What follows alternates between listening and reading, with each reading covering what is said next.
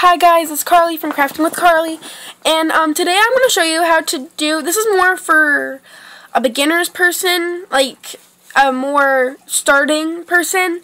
They, like say you got a rainbow loom for Christmas or your birthday or something.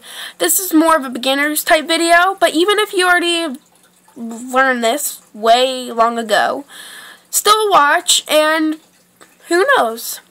And by the way, if we get 2,000 likes on this video, I will be making another video tomorrow. So even if you don't know how to do this, like it if you now know how to. And if you um com uh, comment down below um, if you made this and if you learned and if it helped you. Now, I'm not doing this on the loom. I'm doing this with my fingers. It's Sometimes I think it's more easier than the loom. So, um, first I'm going to take my first band, and then I'm going to take another band, and I'm going to just put it through like that, through one of the bands, and then go like that, so it will look something like so. That. And then just keep doing this. It's a pretty simple process. It's not really hard. I mean, it's really pretty easy to me. Mean, what I think. And I'm going to just do that so it's easier.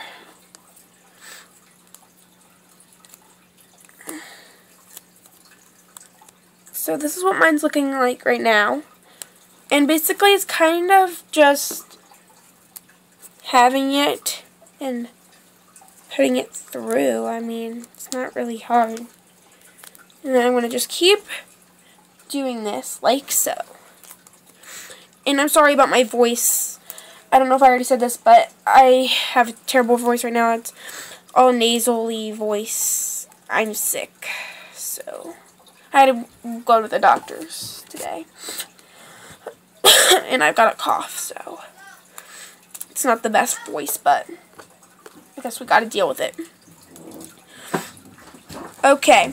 So, after I do this, I'm going to get a S-clip or C-clip, or if you just want to knot it off, make it a keychain and then put charms on it, take it like this and put it over and then tighten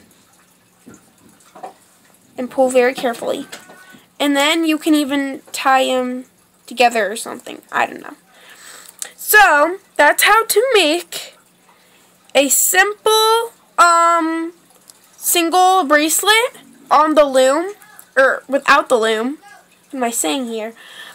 And, um, like I said, if I get 2,000 likes on this video, I will make another video tomorrow and post it. And don't forget to slap that like button because if you do, well, it'll be another video tomorrow. And it won't be one of those beginner videos.